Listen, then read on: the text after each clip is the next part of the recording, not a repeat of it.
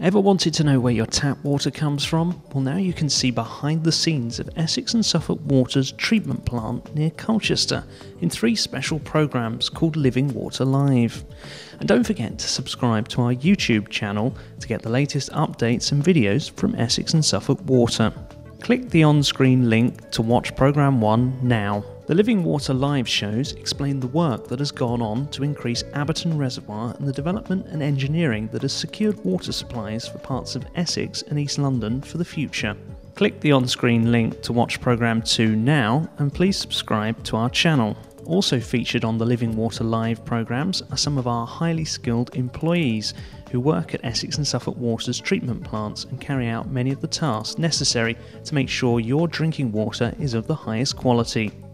Click the on screen link to watch Programme 3 now.